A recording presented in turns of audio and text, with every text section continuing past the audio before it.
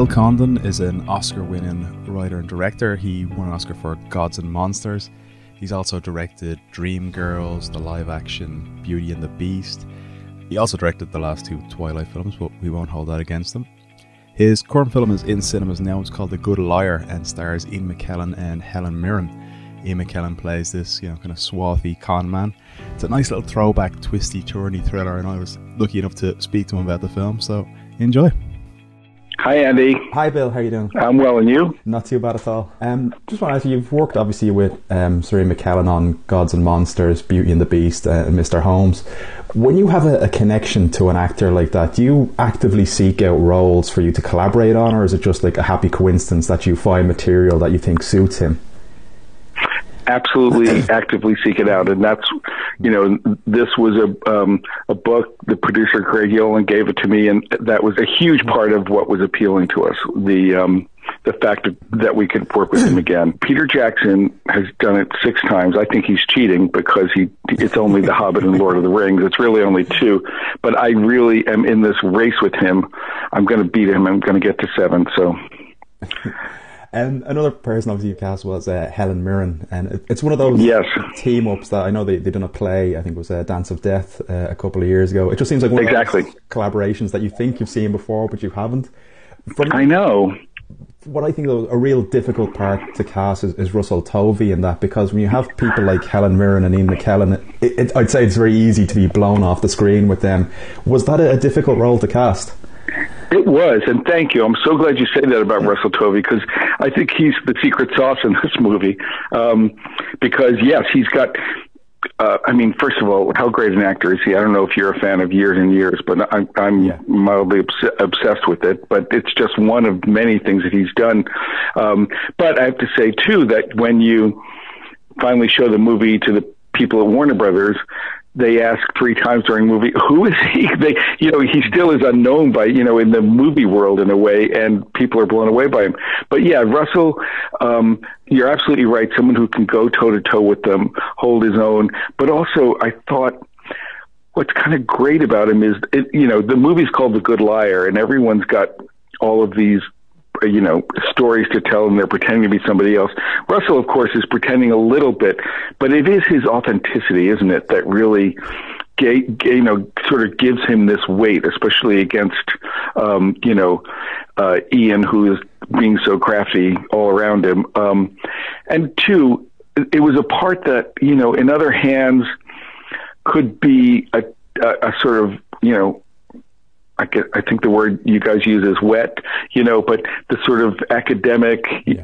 um, the, you know, uh, a little superior. And the fact that Russell plays him you know, in in his accent as an in jeans. You know, that's what academics look like these days. I thought it was. I, I don't know. I'm very grateful to, for him to have taken on this part. And especially with that role, when you have someone like I know Ian McKellen's essentially the bad guy, but because he's so beloved, it'd be very easy for that to be. Oh, oh get this character out of the way. I want to see you know the bad guy win. Essentially.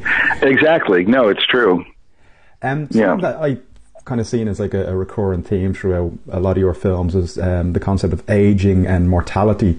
And I think that's yes. such a, a, big part in The Good Liar as well. What about that particular aspect of the storytelling appeals to you? Yeah, I, I know for me, um, from a young age, but throughout my adulthood, I've always had good friendships with people who are older and really, really so much of I've gained so much from it. You know, filmmakers who are older, for example, Curtis Harrington is someone I when I first went to Los Angeles, and he'd been friends with James Whale, so I'd heard all those Whale stories for years and years. Um, and then likewise, you sort of try to then have younger friends on the other side, but but um, it was it has been interesting because I first really played with this in Gods and Monsters, and I was in my 40s. But now I'm in my 60s and getting getting getting it's getting a little more pressing these issues. Um, so it it I, I do think of it as being hopefully it will it, I won't be surprised when these when these things finally come to bear because it's something I've been thinking about for a long time. But I I think you know what what really appeals to me about this movie is that while those issues sort of hang over everything. It is a movie with with characters in their 70s and in Ian's case 80.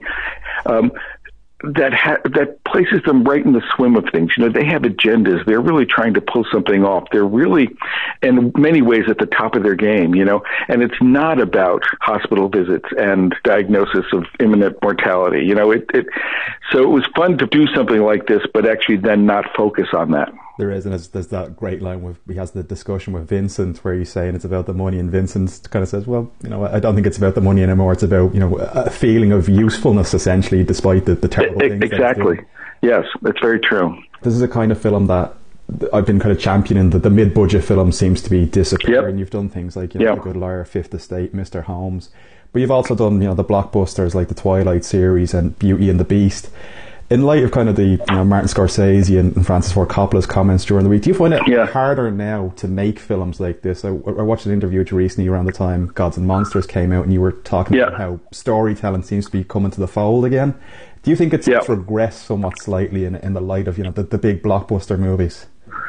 Yeah, I do. I do think that it's harder, and I, I, I sort of can't believe. I feel as though we got in under some wire with Good Liar, frankly. You know, because um, and let's see, let's hope it it does well. But it does feel like these movies have been appropriated by streaming services, frankly, and that the you know now I have to say I, I, I'm lucky in that one of the three or four kinds of movies that still really appeals in theaters are music driven me- movies and that they appeal to me you know in a way that you know Marvel movies wouldn't.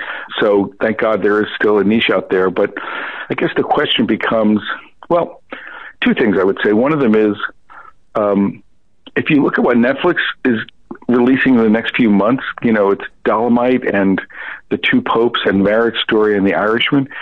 And look back at recent studio history, any studio, that's like United Artists in the 60s and 70s. I mean, to have those four movies in the space of two months, it's sort of remarkable no matter who they are, right? Yeah. So those are real movies that are being made by them um, that will, you know, obviously then it becomes about the theatrical experience, but you're grateful that they exist.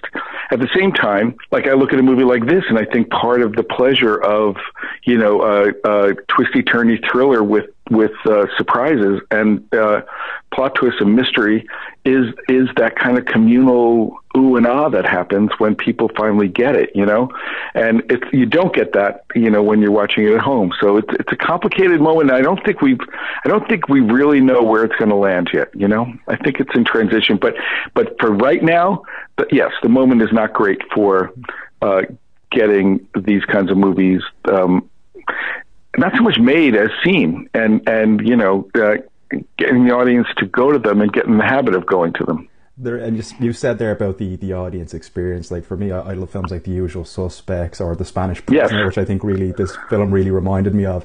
And there is, Uh-huh. like you said, that audience moment where, not to give anything, where there's certain reveals during, you do get that wave of oohs and ahs that you, you don't get watching it at home as well. It's true, and I found I've found in my three experiences now that as the people come out of the theater, they're talking about it, right? And that I think is it, that's what you want, right? Yeah, you also you, you spoke there, sorry, about James Whale and of course uh, the story of Gods and Monsters. Um, Bride of Frankenstein with, with Javier Bardem. Yeah. Is there any status update on that? Is that still happening?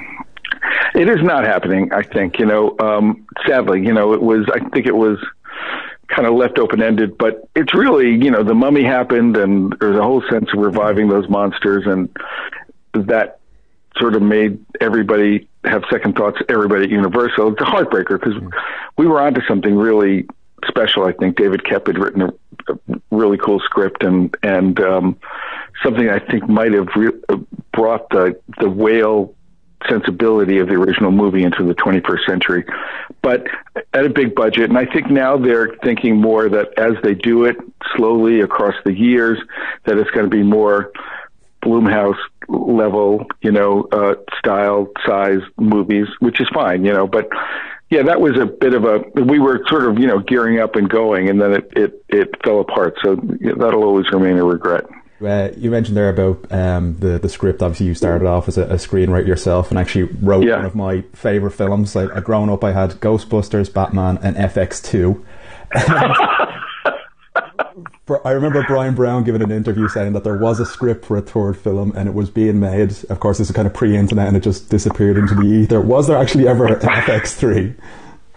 No, I don't think there was. I think, I honestly, uh, and Bryan, God, I remember this so well. Bryan, he was an entrepreneurial, yes, and he he was producing films in Australia, but FX2 was happening, and he really thought FX was going to be his Indiana Jones or something. And then it became clear as the movie was about to be released that both the reviews and the box office weren't supporting that. And I remember, I've never, I've always sort of held on to this memory of him just like saying, you know what, mate, uh, you just, just, you take a different path then. And he, he, he moved back to Australia. He's made movies there, but he sort of dropped out of it, you know, um, in a way, in a very, he, he just accepted it as, as either, it either works or it doesn't. Hopefully. But I have a Bluey the Clown down in the basement at home, so I could, I could, um, send you a picture of him oh, with the, with the message if you want. Please put that on, on our Twitter somewhere I can see that. That'd be brilliant. no, Colin, thank you so much for your time. Really appreciate it. Absolutely. Okay. The film. Best of luck. Oh, thank you, Andy. Thanks. Have a Thanks so much. Take care. Okay. Bye.